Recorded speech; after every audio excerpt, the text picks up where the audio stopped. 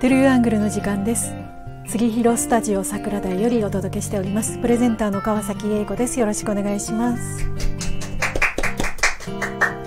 万代放送部の釣り部人弘です。よろしくお願いいたします。本日も収録スタッフの皆さんよろしくお願いします。視聴してくださっている皆様こんにちは。このトゥルーアングルでは、えー、今世の中で起きているさまざまな事件やえー、裁判などね、えー、を扱いながら、えー、特に、えー、司法の観点からジャーナリストである釣り部仁弘さんの視点で、えー、物物事を方向を掘り下げていく事件を掘り下げていくという形で、えー、お話を進めていきますそして最終的に今どんなことを注目したらいいのかどんなふうに考えるといいのかななんてことを皆さんと一緒に考えていきたいというそういう番組になっております。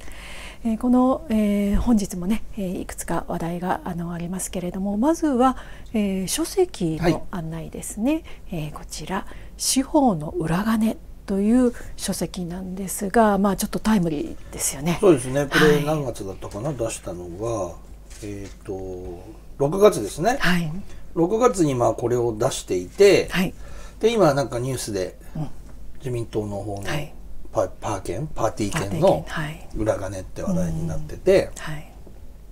まあ、あれが裏金なのか裏金じゃないのかっていうこともいろいろまあ議論はあって、はい、あとは二階派と安倍派は内容が違うだとか、はい。えー、記載、えー、政治報告書。政治政治資金。規制規制。の報告書の書きミスだから裏金じゃないだろうとか、でそれが裏金なんだとか、まあ、いろんな説というか、そうですね、あの解説があったりいろんな意見があるので、それについてどうのこうのっていう気はなくて、まあ、これからの今捜査入ってますから捜査を見守ると。ただ僕は一個違うと思ってるのは、税金を使ってるか使ってないか、政治資金は税金でポンとくる。だパーティー券って民間の人が払ってるじゃないですか。で政党に払うっていうか、まあ、あれはだから派閥のでしょ、うん、僕個人の政治家のも行ったことあるけど、はい、2万円とか払う。けど、絶対全員来てないの分かるし、はい、食べ物がすぐなくなる、うん、だから絶対2万円以下のお金、うん、そうですね。まあまあ寄付っていう感じ、ね、だからもう事実上寄付で政治資金を集めるためだと思って行ってる、で、ねはい、中には10枚買っても1人しか行かないとか、1人も行かない人もいるわけじゃないですか。はいで個人が分かって払ってるお金が政治家は政治家に入ってもいいわけじゃない、はいはい、でも派閥に入るっていうことがちょっとグレーですよね。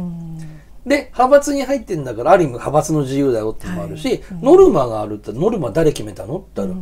自分たちでしょ。そうですね。で還流があるって。いやいやいやその分出さなくて100万円分だけ出してでも自腹も切ってるとか、うん、っていうと税金使ってるわけじゃない。分かってお互い分かってやってんだから、うん、でそれが裏金っていう定義でいいんですかと。でも資金なんで帳簿に出していないっていうことはある意味裏金と言ってもいいのかなと思うんですけど、その辺は専門家の解釈に任せるとして、で僕が出したのはこの「司法の裏金」っていうねこの本。これにはだから今回の今ねまあ特捜が入ってる人は検察ですよ、はい、検察が裏金もらってるでしょっていう、はい、そもそもね。話なんですよ。その調査に入ってる側捜査に入ってる側がやってるでしょ、うん、で裁判これ裁くとして起訴したとして、はい、裁く側だってもらってるでしょ、うん、今回はまあ警察はねもう特捜から入っちゃったから、警察はないとしてるんですけどいやいや裁く側捉える側がやってるじゃないっていうことを、うん政治家さん知ってますよねって僕は言いたいわけですよ、うん。うん、マスコミさんも知ってますよねそうですね。だってこの本も出てるんだから知ってるわけですよ、じゃあこれが嘘だっていうならまた別なんですけど、はい、だったら裏金裏金でいくなら、政治家の裏金、ね。えー、司法の裏金って同じぐらい注目を浴びて、もういいなと思うけどこっちはこう注目はあまり浴びない、しすごくやらしい言い方すると政治家がこの本読んで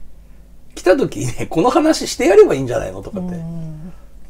思っちゃって。なるほど、まあ、ただ検察の裏金のこの事件の話は古い事件にもなっちゃってるから、はい、じゃあ今それないのかっていうのと、政治家側はこれ追及する力を持ってるんですよね。そうですよね確かに、でそれで追及して検察の裏金って取引しちゃったのが昔なんですよ。なるほど。お互いに触れないっていうふうにしたって、これ書いてあるんですけど、はい、でそれじゃ日本がダメになるよねっていうことを書いてあるんで。でなんか報道を見ると今回は50人規模で相当特捜はやる気だと言って、僕らがねずっと言ってるのはその過去のこととか警察検察裁判所がいい悪いとか誰々責任取れとかね。まあ後で出てきますけど組織がどうとか、はい、個人がどうで悪いってそれを言いたいわけじゃなくて、うん、このままで日本いいんですか、はい、政治家に対して唯一いけたところがいかなくなった。うんだから前は田中角栄さんだって逮捕したです、うん、それはまあ冤罪っていう説もあるし、まあいろいろありますけど、でも元首相に対してまで言ったのに、はい、この本に書いてありますけどある時から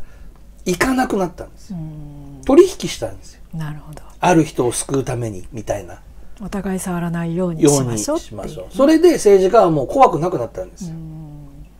検察は来ないぞ俺たちには、はい、ってなったとこう書いてあるわけですよ。もう具体的に。なのでやりたい放題になった。さあ行こうと思った時にちょっと行きにくいみたいな、うん、っていう中で検察組織の力関係があったりいろんなことがあって。だけどまあ今回もし行ったとしたら、はい、トカゲの尻尾切りなのか結構上の方まで行くのか、うん、でも法律の縛りがあると会計の担当者しか罰せられないというと、うん、裁く法律がない、うん、そしたら社会的に裁くしかないとしたら今度メディアが報道するとか、はい、っていうことになってくるので、どっかでやっぱり日本を良くする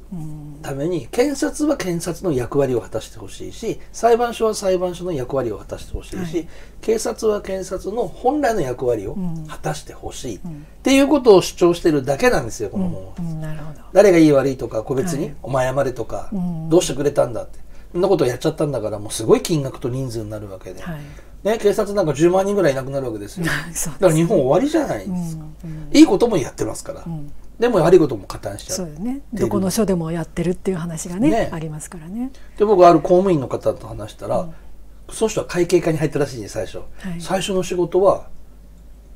偽領収書作成だった。いわゆるあの行政ですよね。行政。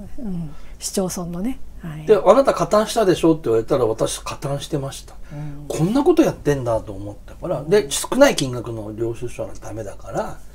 筆跡変えてとか。こんなことやってんだと私は思いました。その人は数年で辞めましたけど、うん、だからねそういうのがあるんだぞっていうことを僕は国民の皆さんに知ってもらいたいし、はい、ぜひねこの本を読んでいただいて、はい、でもね嫌なんですよこれのって。だって自分を守ってくれてるのは警察ですもん。そうですよね。検察にお世話になる人があんまりいないし、うん、裁判所もお世話になる人いないけど少ないけどね。ね。交通事故でもそうだし、うん、泥棒入ったでも、うん、なんか変な人がいるでも全部警察が来て、ね、自分たちの生活を守ってくれてる人たちが裏金やってるっていうのを突っ込んだり怒ることはしにくいですよ、だって隣のおじさんおばさんだったりそうね。ね、はいそんな人たちが悪いことしてるとは思いたくない、うん、それぐらいいいんじゃないぐらいの。でも政治家がやると許さんみたいな、うん、なので僕はこれも読んで政治家にはぜひ読んでもらいたいし、うん、メディアの方も読んでもらいたいし、はい、同じ裏金なんだよっていうので、ね、まあ見てほしいなって思いました。はい、そうですね、っていうのが冒頭のちょっと宣伝、はい、宣伝って言うと変だけど。ね、あの政治家だけじゃないぞというところでね、ね、はい、実際にこういうことがあるということはねちょっと認識に入れていただくといいですよね。うん、あの興味のある方ぜひあの